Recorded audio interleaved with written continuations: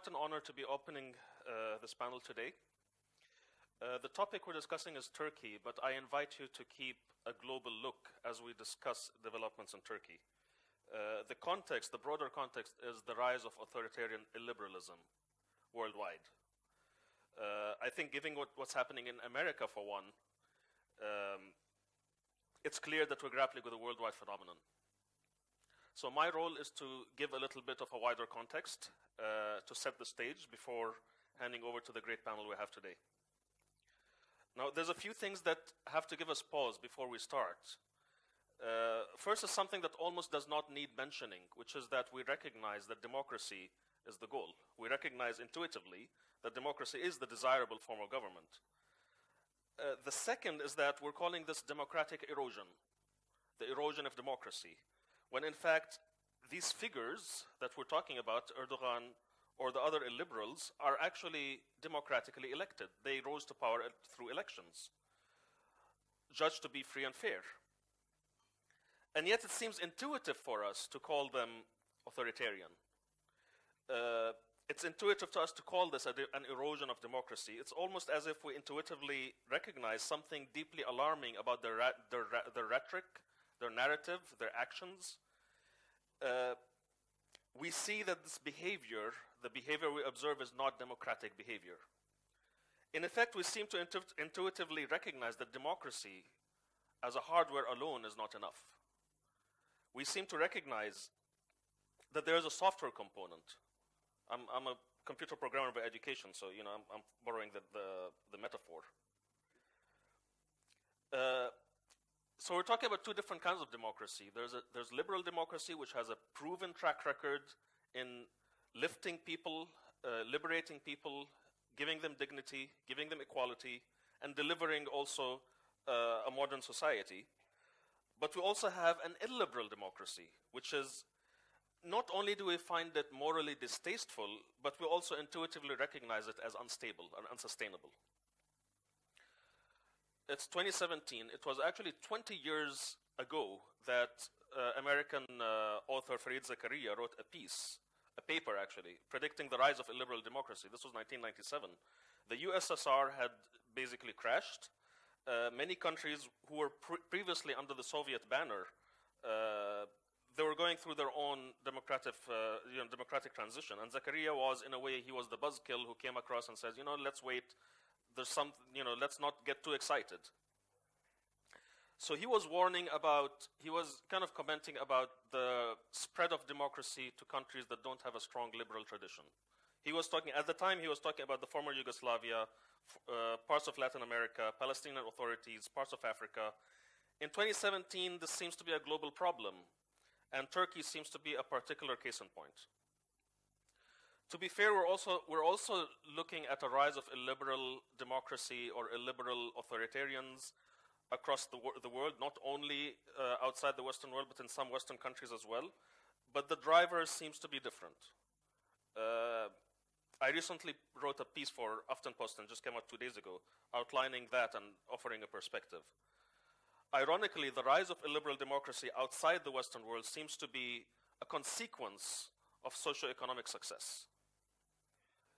Uh, over the past few decades, uh, a combination of economic reform and democracy has lifted millions of people who are previously outside the, the, the political system, lifted them into the middle class, and uh, activated them as political agents.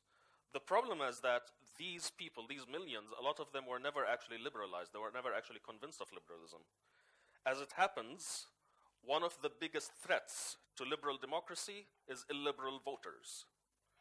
The bigger problem with the rise of the populists is that is not only that they're illiberal, it's that they, they have a wide voter base. So we're talking about millions of voters who aren't liberal. In fact, to the average AKP uh, voter, the word liberal is a slur. Uh, and who does this remind you of? When directed at a person or a party or a media, liberal media, it's an insult. Liberalism is associated with an elite who are seen to be detached from the people uh, and actively working to suppress their agency and their will. Now, honestly, who does this, who does this remind you of? So this is what democratic erosion is. It's at heart, it's actually an erosion of liberalism. Illiberal democracies are not only terrible places to live, especially if you're in the opposition or if you're a minority, they're also inherently unsustainable. Uh, a textbook case is what happened in Russia since the fall of the Soviet Union and how Putin ended up, uh, you know, we went from a nascent, promising kind of democracy to a competitive authoritarianism, to what's looking more and more like an outright dictatorship. Uh, in 2014, uh, Larry Diamond wrote a paper titled, Is Democracy in Decline? This was three years ago. He noted the mechanisms. He was talking about how does this happen? The mechanism by which an illiberal democracy stops being a democracy altogether. And he noted three different steps, and I'm sure uh, there'll be a lot to comment on. First is that the executive branch expands. So we go, for example, in the, in the case of Turkey, we see a shift from a parliamentary system to a presidential system uh, in the case, we're, we're seeing it right now in, the, in, in America that there's an over reliance on executive orders. There's always this, this space. The executive branch tries to make space for itself. Second, uh, opposition rights are trampled and pluralism is attacked. Third, free speech is assaulted under one guise an, or another. And uh, a lot of the time, free speech is actually assaulted without censorship. There's so many tools that authoritarians can use to assault free speech without actually passing censorship laws. Uh, this is the populist playbook. It's, it was used to great success by Putin, and now it's being used by Erdogan. The fact is that illiberal democracy is not sustainable. For democracy to be sustained and to prosper, it needs to be supported by a liberal political tradition, a liberal, liberal political culture and that culture has to be fed continuously by liberal, you know, by liberal intellectual tradition. Uh, the ideas of freedom of thought, freedom of faith, freedom of the press, freedom of association, freedom of movement, freedom of trade, uh, freedom of transaction, the freedom to practice your faith or the, the freedom not to practice any faith, these need to be, they don't come for free. They need to be justified. They need to be advocated and protected. Democracy is the hardware, liberalism is the software. That software needs to be upgraded as the hardware changes, as society evolves, as times change. Uh, at this point, I think I've done my part to set the stage for uh, to open the panel, and I look forward to what my colleagues would add. Uh, before I would pass it on to Thor, uh, I want to say a couple sentences about my project at Civita, and I'll be very brief, and I'll, I'll, I'll just use the same metaphor that I used, if democracy is the hardware and liberalism is the software, then I see my role as contributing to writing the Islamic edition of that software. Thank you. So with this, I'll give the floor to the next speaker.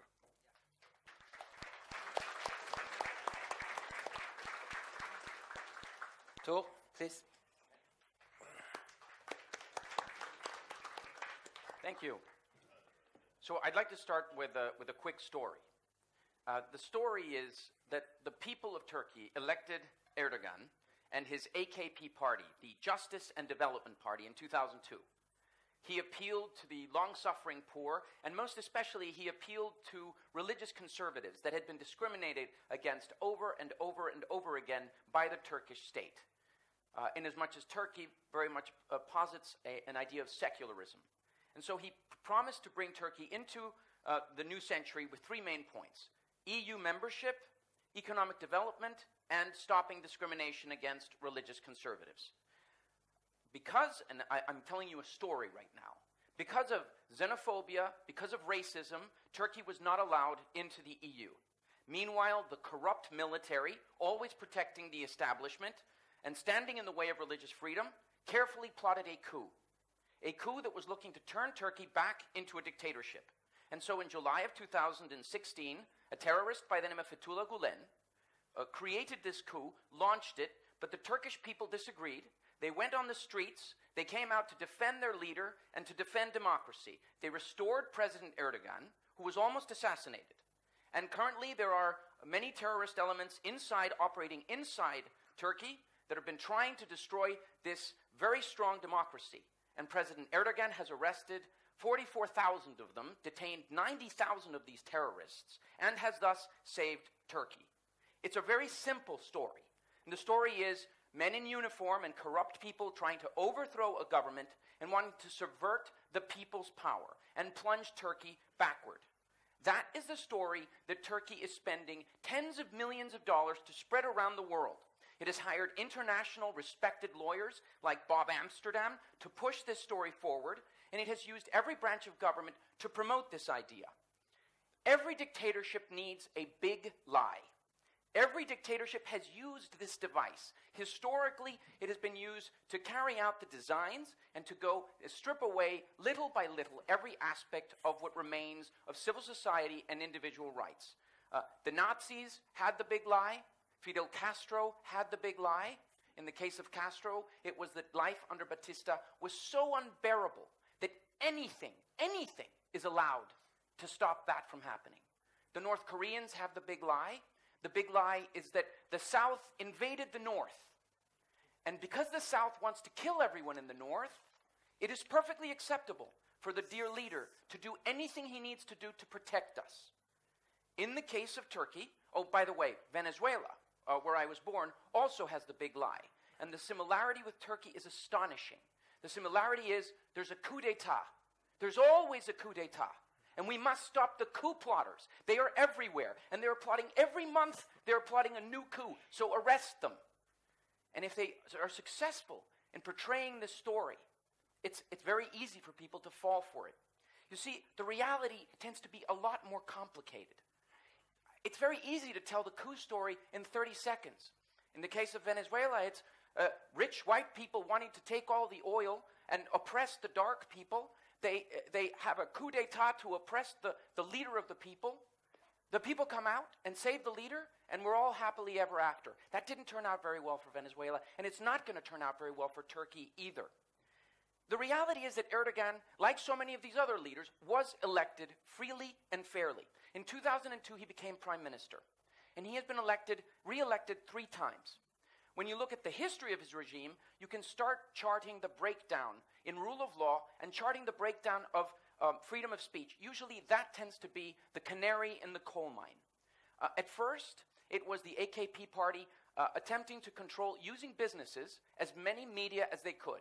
What did they do? They didn't go after all of the media, they went after piece by piece. So they would go after one media ownership organization, a holding company, because they didn't pay their taxes. And the people of Turkey would say, terrible people, they evaded taxes. They should have their, their, their company expropriated.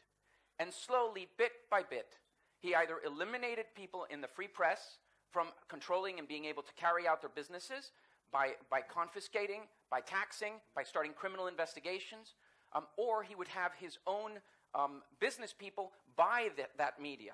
So the handwriting was on the wall in 2004 but nobody really noticed. And it was when he started going after the media. Um, then 2004, 2007 with Sabah newspaper, 2009, 2011, then became uh, the next step of what people who seek to create authoritarianism do, which is uh, to begin to attack the separation of powers, begin to eliminate judges, begin to fire judges, sack judges. In his own case, a corruption case against Erdogan in 2008, again and again and again, he got involved in a corruption case against him the, the, the, the biggest element that should have been screaming to everyone that something is very wrong is when he offered the intelligence services of Turkey total immunity. Syria has this as well. This allows the intelligence service to operate at any point and do anything inside the country, even if it's illegal, and be able to get away with it with complete immunity. This was in spring of 2013 that this began. For someone like me, who's much more interested in, in, in, in usually it's the small anecdotes. Uh, how many people here have, have um, read or have seen the movie Lord of the Rings? Okay. Um, much like democratically elected leaders in countries that I'm not going to mention, like the United States, um, sometimes the leaders don't like criticism in the media. Some leaders will take to Twitter and say, I really don't like how that show is portraying me. I'm really upset how they're making me look. You know, that's because they're thin skinned. People with authoritarian tendencies tend to be very thin skinned. They don't like criticism. Um, in the case of Erdogan, it started with a cartoon of him as a cat. so he had that journalist have charges against him. Then this, this doctor in 2004 in, in Anatolia, he put up um, some photographs on Facebook where he compared Erdogan to Gollum. Erdogan did not like this at all because this wasn't the only picture that they put. You know, they had another one of Erdogan like this, which, and you will see, of course, the remarkable resemblance. People with dictatorial mentality don't like humor. Um, they're, they, in this particular case, the Gollum case, and he was, uh, this man was actually um, tried uh, two years of his life in a trial um, because he posted these pictures on Facebook. Um, that to me is the canary in the coal mine. That is just like, that's a dictatorship. Everything else is, is just a long, complicated story. Um, the people of, of, of, Turkey, of course, uh, were living through this. And like the people in so many of these other democracies, were a story has been sold to the West.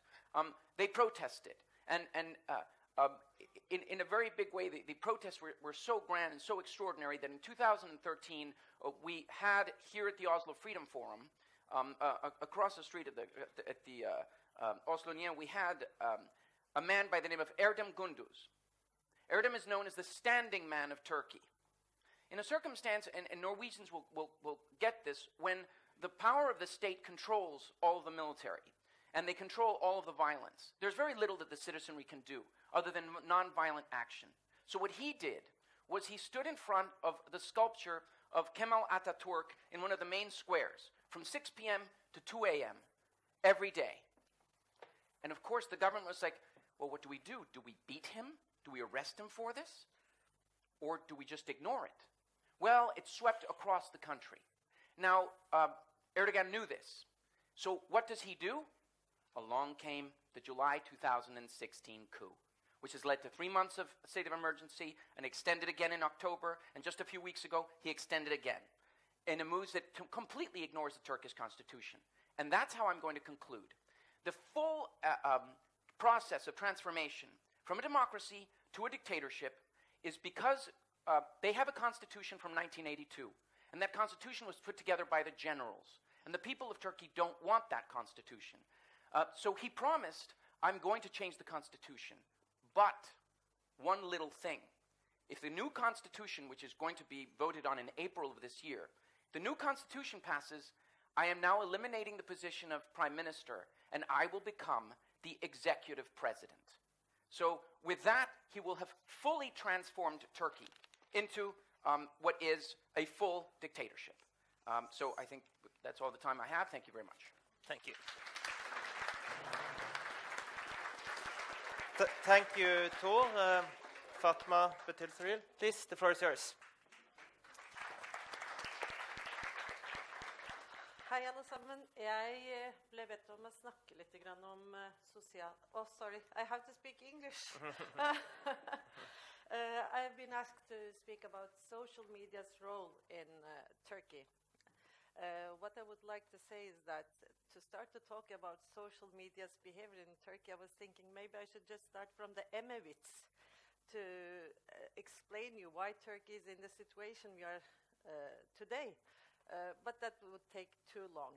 Uh, if, then I was thinking starting from the Ottomans, that would also take too long. So I will shorten it down to uh, from the period of Tanzimat, which is uh, when the reform started and Turkish, Turkey became a republic.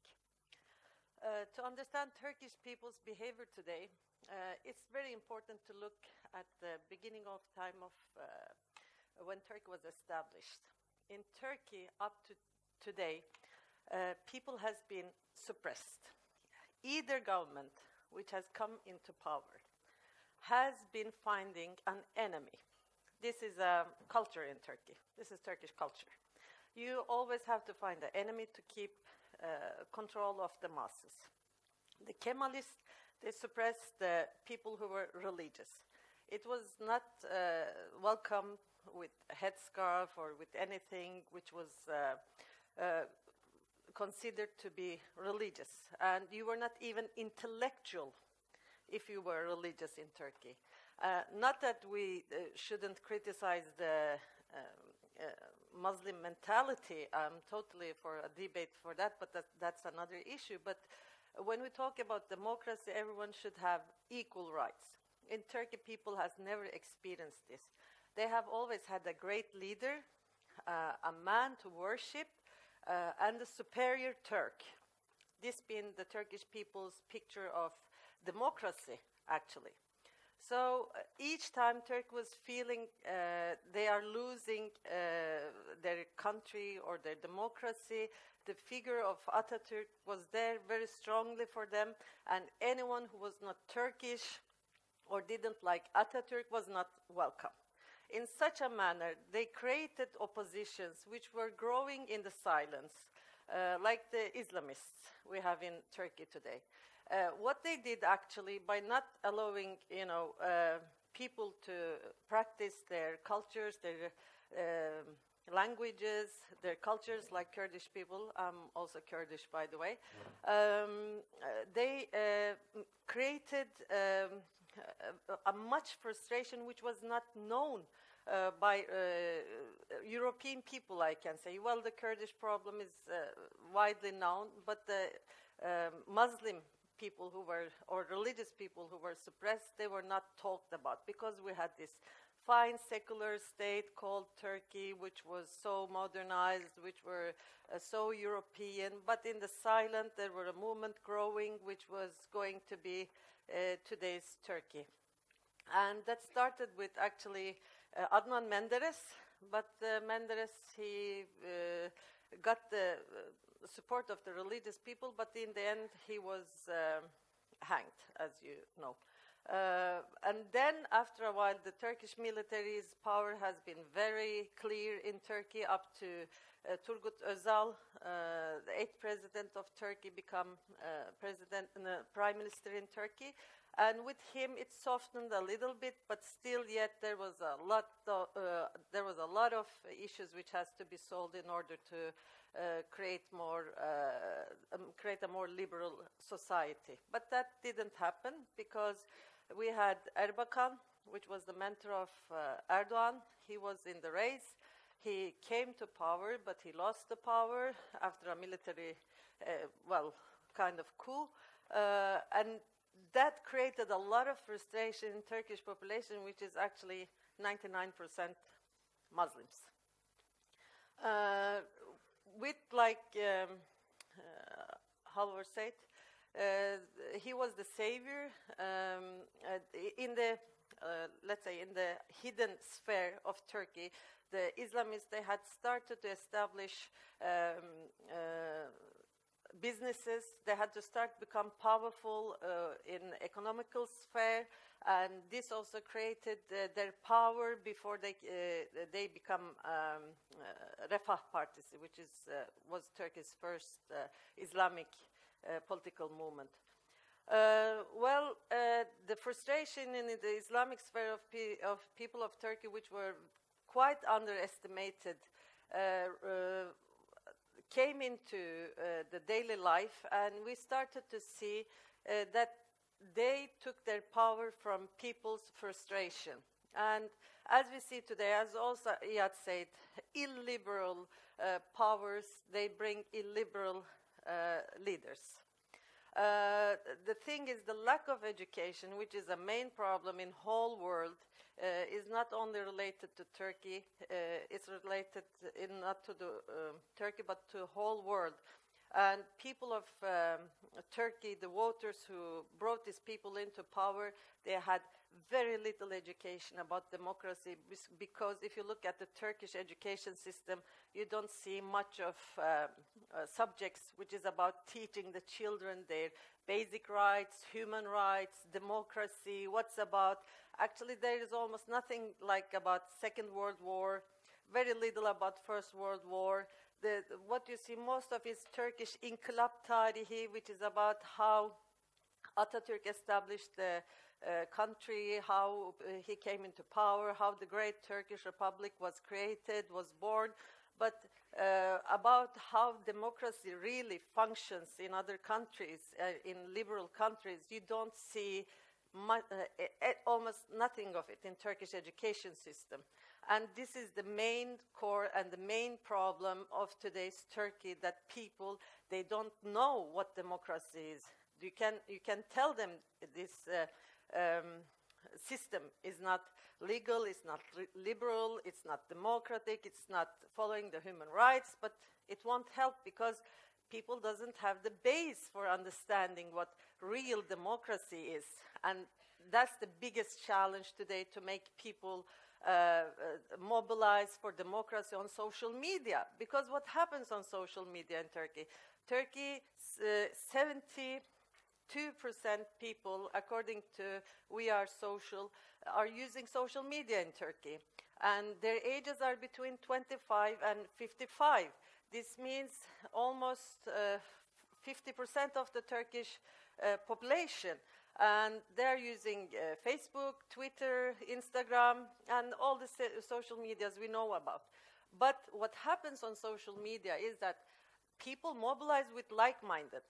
Okay, this is not also only for uh, Turkey, it's everywhere in the world we see today that the radicals, they mobilize with radicals, liberals mobilize with uh, liberals. But in Turkey's case, it can be a little bit uh, more difficult to mobilize people under the same uh, uh, uh movement because even though 50% are against uh, this regime which is now raising in Turkey, within those 50%, it's so many different kind of mentalities which won't even say hi to each other if they knew what kind of uh, mentality the other one has on the street.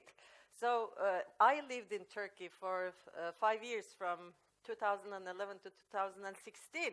I would put it like my husband says, hardware Turkish, software Norwegian. So uh, as a as a Norwegian, when I went down to Turkey, for me, I thought I was very uh, Turkish. I had Turkish parents, whatever. But when I went down, I just saw that this is totally another planet for me. These people here, you can't tell them your opinions because you would immediately be put in a box. If they can't put you in a box, then the, they will be disturbed. Because in Turkey, there is no gray zones. I will. Um, uh, finish with this. The problem in Turkey is like here, we can be criticized, intellectual people can sit and discuss from very different uh, mindsets and they can agree, disagree, but in Turkey this is impossible. Everyone will say, I am the most right. And this doesn't create gray zones in Turkey. And this is a great challenge for Turkish democracy and for uh, being hopeful that uh, they, the Turkish people can demolish uh, this uh, regime which is in rise in Turkey today. Thank you.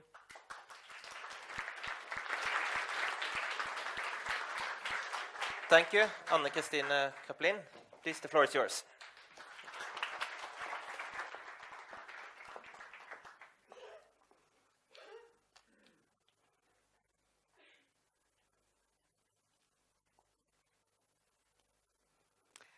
Um, so I have been asked to talk about the legal status of the rule of law in Turkey and the Vigdis Freedom Foundation.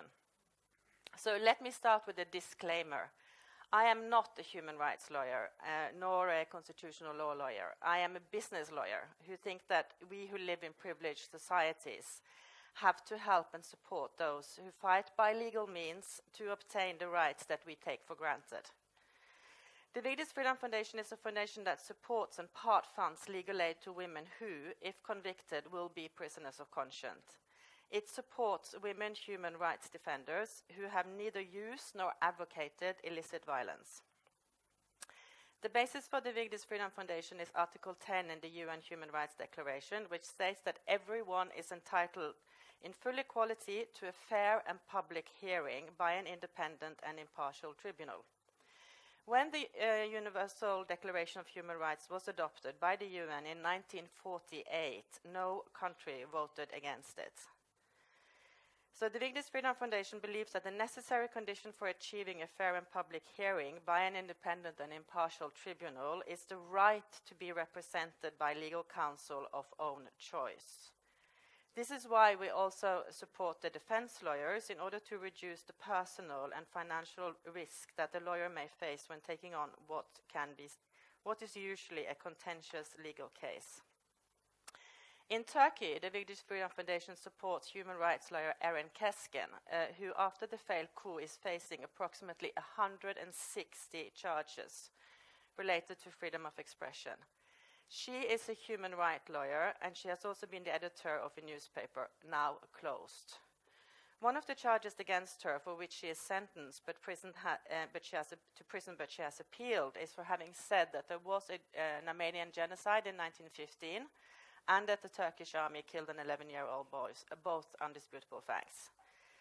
Um, she has been offered political asylum in France, but she loves Turkey and she wants to stay and fight for freedom of expression in Turkey. She has also seen too many of her friends die and be tortured in prison, so she feels solidarity with them.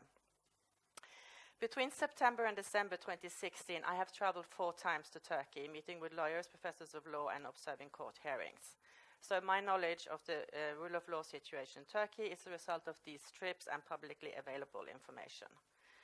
So as for the basis of the rule of law, I mean, the, the, the leading authority is Lord Bingham, Bingham who has defined some sub-rules, uh, some of which are the law must be accessible, clear, and predictable. Questions of legal rights and liability should be resolved by application of the law and not the exercise of discretion. The law should apply e equally to all, except for the, uh, to the extent that objectives different, uh, that objective differences uh, justify differentiation. The law must afford adequate protection of human, uh, human rights. Judicial and other adjudicative procedures must be fair and independent, and there must be compliance by the state of its international law obligations. I agree with Thor. Uh, Turkey is now violating all the major principles of rule of law and international obligations. I will substantiate this opinion by, the, by opinions issued by the Venice Commission and statements and facts provided by reliable sources and Turkish official statements. Turkey is a founding member of the Council of Europe. The Venice Commission is the advisory board of the Council of Europe. It is composed of independent experts in the field of constitutional law. It is a highly respected committee, and Norway's representative is Professor at Law uh, Dr. Jan Helgesen. The Commission's full name uh, is the European Commission for Democracy Through Law. Three major opinions were rendered by the Venice Commission in 2016, all criticizing the recent developments in Turkey. The first opinion is on the suspension of parts of Article 83 of the Turkish constitution that guarantees parliamentary immunity.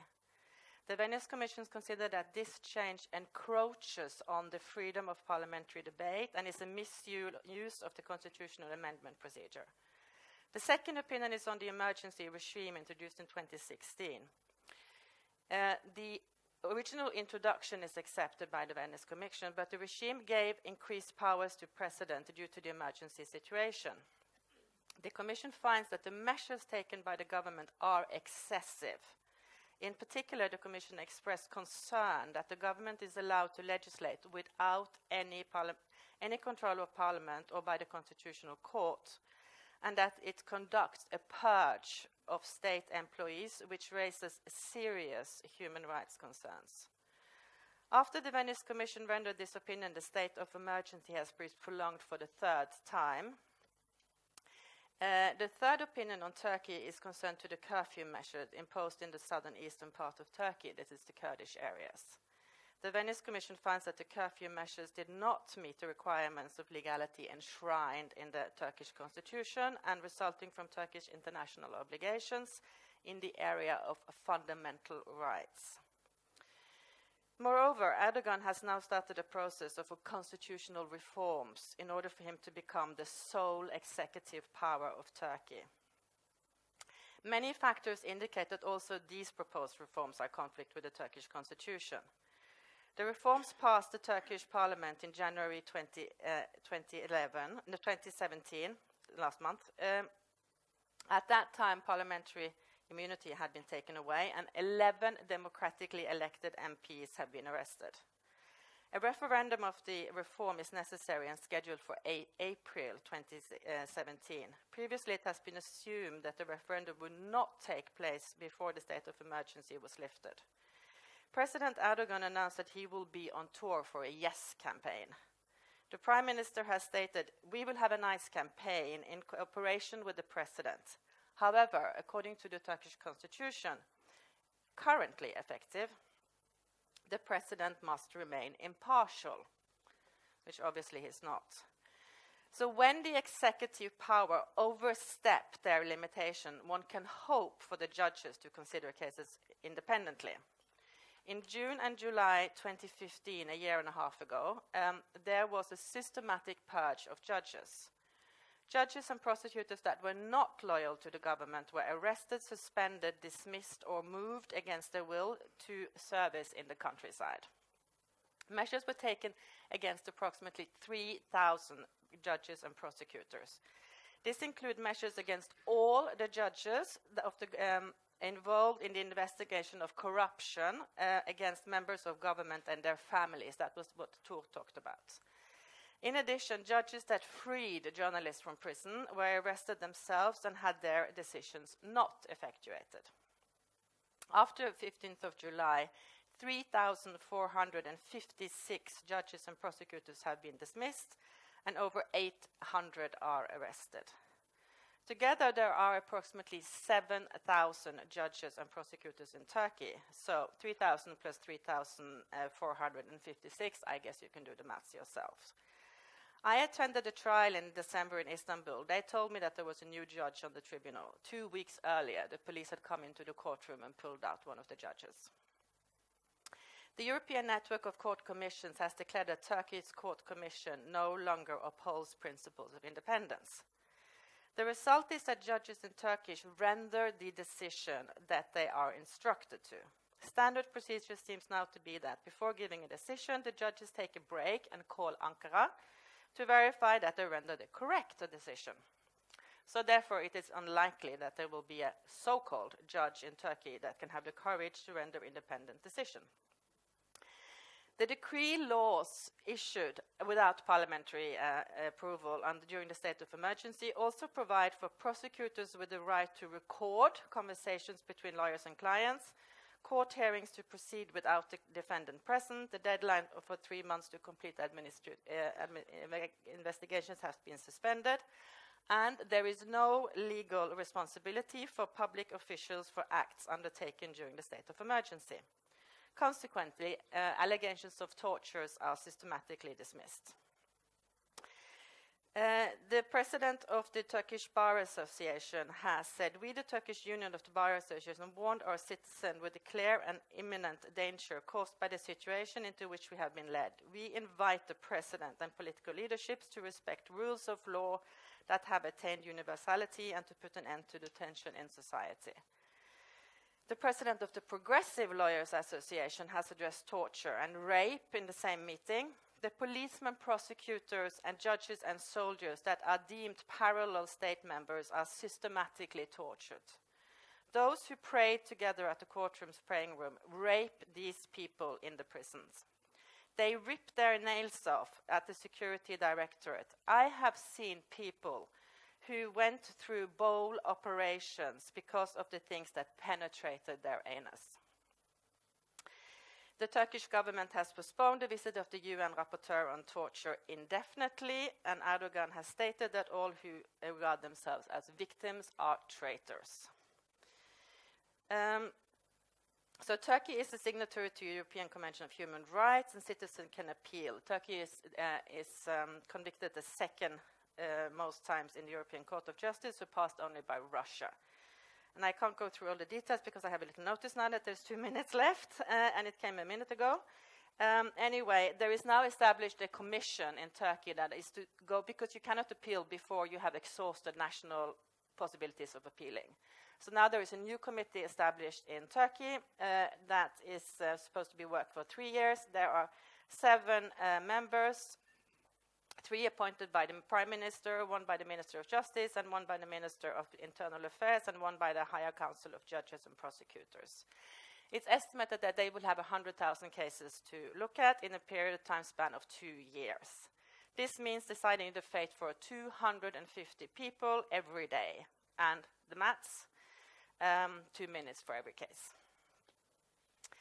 Uh, so those who are accused don't always know what their crime is. Actions were legal when committed and have become illegal in retrospect. Sanar Yuda Tanzman's defense statement in January 2017, he was sentenced to one, uh, more than a year of prison. He said, I don't know what I'm supposed to defend. So finally, Shakespeare's King Lear is becoming true in Turkey. You know, King Lear said, first let's kill all the lawyers. This is when he wants the, the state to go down. No freedom of speech, no freedom of thought, no separation of power, no rule of law. I have not spoken about the arbiter closing of private business or, or, confiscation of funds. Uh, the constitution of Turkey is being remodeled against provisions of the constitution and in a political climate of fear.